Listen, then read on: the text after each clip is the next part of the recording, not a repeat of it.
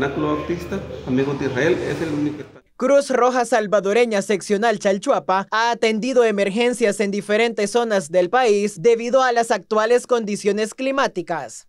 Ciudad Real, en la, en la parte de, la colonia San Juan, donde tuvimos que ir a evacuar unas familias en compañía de, también de protección civil, eh, que se llevaron al albergue del tabernáculo que está en, en ese mismo lugar. Luego también los compañeros han participado pues, en algunas emergencias dadas acá en la ciudad, como también se han trasladado al refugio.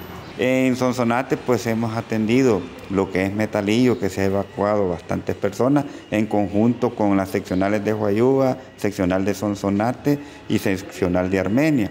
Hemos estado atendiendo eh, esa parte de Metalillo, el desbordamiento del río Paz allá en, la Achadura, en el distrito de Chalchuapa, los socorristas también han llevado a cabo monitoreos en lugares que son considerados de riesgo.